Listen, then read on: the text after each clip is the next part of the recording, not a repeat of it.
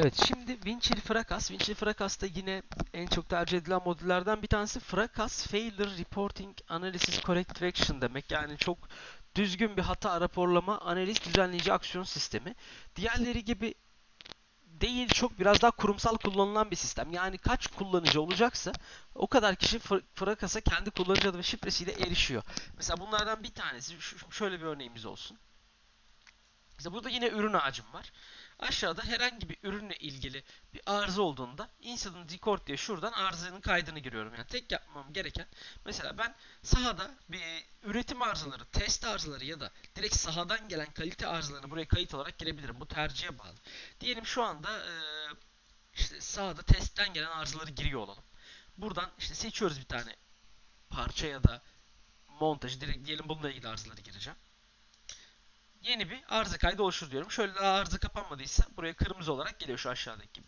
Kapandıysa siyah oluyor. Şimdi kırmızı olarak gelen arıza new incident fazında başladı. Şimdi bu, bunu ben, ben karar verdim. Yani bunu başta sistemi konfigüre ediyorsunuz. Bu fazlar neler olacak? Mesela e, benim senaryom şöyle. New incident fazında bir arıza geldi. Bunun birisi incident report formunu dolduruyor new incident fazındayken. Şöyle gene alt panelde formlarımız oluyor. Bu form tamamen konfigüre edilebilir. Yani buraya istediğiniz gibi şu şekilde e, text box'lar e, koyarak böyle combo box'lar koyarak radyo butonlar, attachment ekranları bunları koyarak kendimizin konfigüre ettiği bir form tipi burası. Bu mesela e, operatör arkadaşımızın girdiği arıza rapor formu olsun. İşte arıza tanımı yazdık buraya. Buraları dolduracağız. E, işte proje kod seçiyorum. Seçtiğime göre mesela aşağıya otomatik doldurdu e, operasyon modu repair dedim. Buraya herhangi bir bakım uyguladıysam onu giriyorum. Mesela parça değiştirdim. İki kişi çalıştık. 2 saat boyunca parça değişimi yapıldı. Toplam 4 saat sürdü. Kendi hesapladı. Replace part. Hangi parça değişti? Ee, torna tezgahının ya da işte matkabın şu parçası değişti. Dedik. Attachment varsa ekliyoruz. Mesela incident entry done'a ben tıkladığım an Burada bu review fazına geçiyor. Bir kişi e-mail alıyor review'e geçtiği için. Sonra o kişi sistemin login olup şu review formunu dolduruyor bakın. Az önceki arkadaşın girdikleri read only bunları değiştiremiyor. Sadece kendi şu sağ tarafı dolduracak. Recommendation mekanik ekip analiz etsin dedi. Burada analiz team'i mekanik ekip seçiyorum. Buraları hep düzenleyebilirsiniz dediğim gibi. Burası da mesela önemli bizim bu senaryoda işte root cause analiz gerekli mi? Root cause gereklidir dedim. 8D de gereklidir dedim.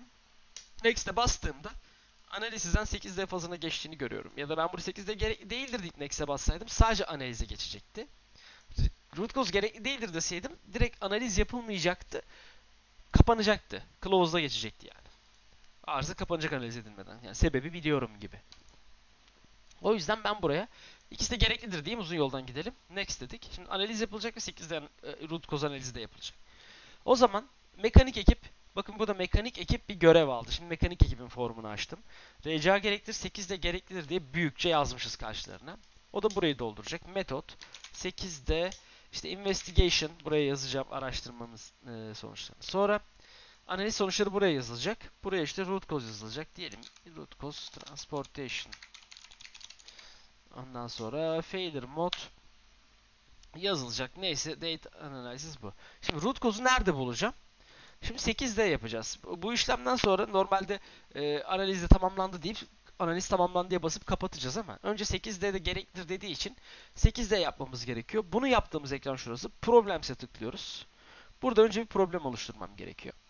Sonra bu problemi tıkladığımda aşağıda bakın 8D raporları geldi. D0 ile D3 arası burada yapılıyormuş. Bakın buraları hep kendimiz konfigüre ettik. Normalde e, yani çok kısa zamanda bu tarz bir formu oluşturabileceksiniz. Bakın 8D'nin D4 ile D5 arası buradaymış. İşte balık kılçığı, Five analizi, kök sebep analizleri vesaire burada. Ve D6, D7, D8 adımları da burada tamamlanıyormuş. Şimdi bunları tek tek tabii şimdi doldurmayacağım. Buraları doldurup 8D'yi kapatıyoruz. Kök sebebi buluyoruz. Sonra analiz raporuna geri dönüp kök sebebi yazıyoruz. Buradan problemi de kapatıyoruz. Problem de closed olacak. 8'de tamamlan diye basınca. Ee, ve e, tekrar gidelim Frakas Incident'a, analiz report'a.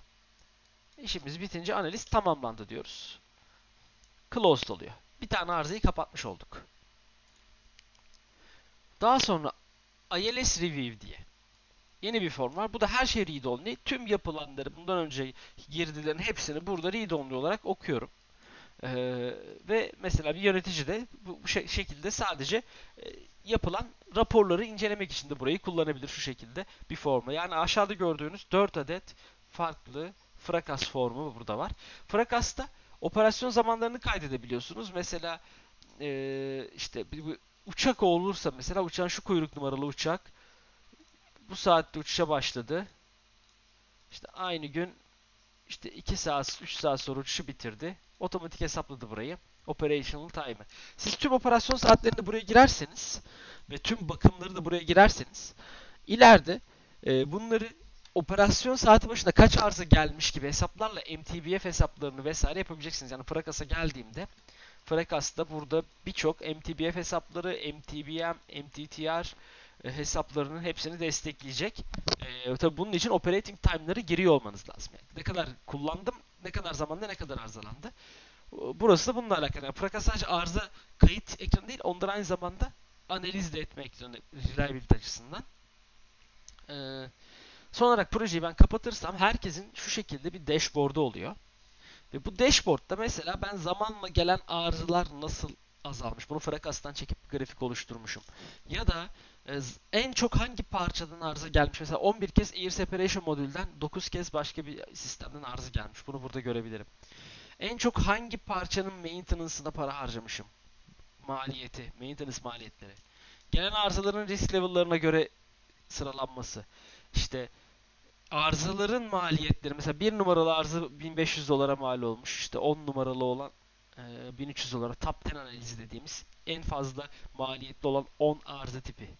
İşte burada bakımların sırayla hangi bakımlar hangi sistemlere uygulanmış, hangi parçalar değişmiş bunun şöyle bir tablosu gibi daha da fazla da bunları yapabiliyoruz. Custom grafikler de yapabiliyoruz. Bunları herkes e, girdiğinde kendiyle ilgili arayüzde görecek.